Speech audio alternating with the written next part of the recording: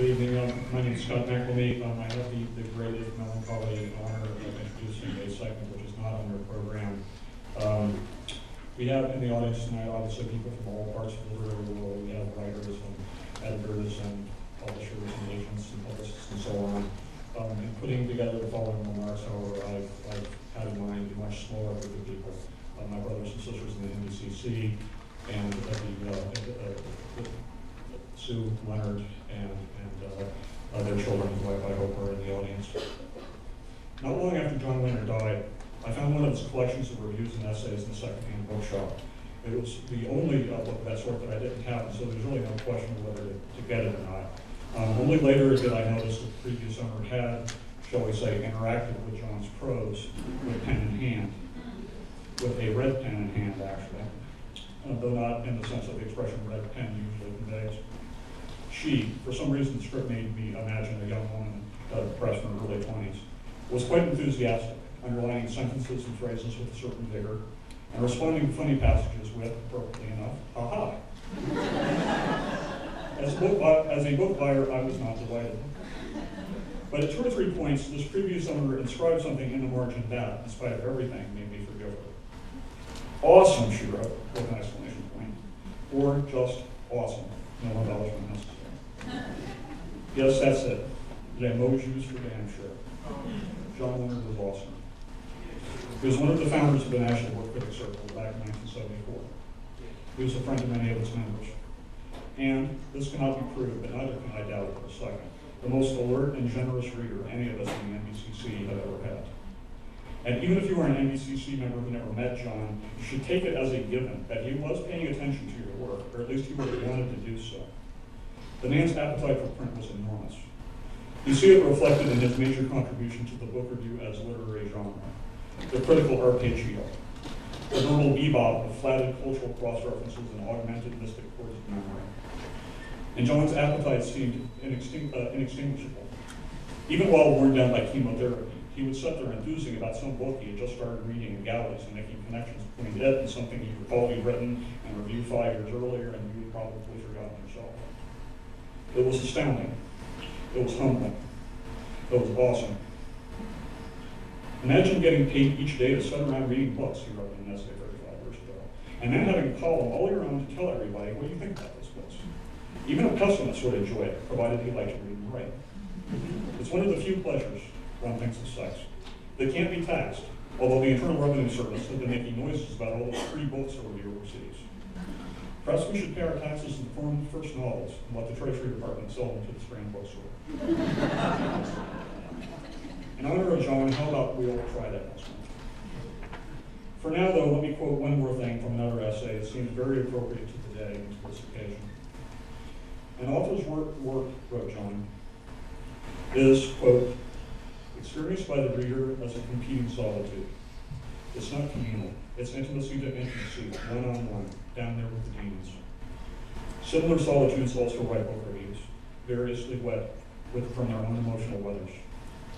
The reviewers sit in separate splendid singularities on prize-giving panels, groping for a group mind. More often than not, the ultimate winner is everybody's second best, agreed upon in order to sacrifice the least of each panelist in battle of self-esteem. This is very much like democracy, except with more parties and livelier primaries and a love of language. From such democracy, I seek counsel and courage. End quote. On behalf of the assembled separate splendid singularities of the National Book Critics Circle, let me express to Elmhunter's family our deep gratitude for the contribution you made to this organization. We miss the counsel and courage you lent us. The parties and primaries hereabouts will never be the same without you.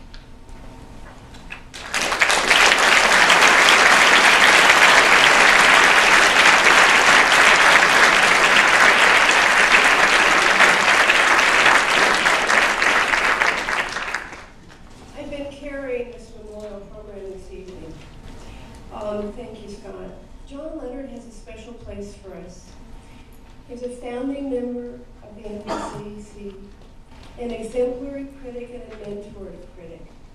And he's somebody to read regularly because John was an enthusiast. He embodies the mission of the National Critics Circle. When we honored him with the Sandrof Award two years ago, he made remarks that stayed with me, that expressed the mission of this group from its beginnings to the present.